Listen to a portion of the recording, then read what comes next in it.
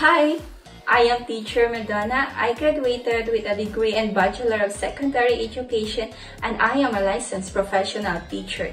I am very passionate about teaching learners at different levels. I love helping people learn English and build up their confidence in speaking it. Learning English can be quite hard and challenging, but I assure you that learning English with me would be easy, full of fun and excitement. I can't wait to see you in my class soon.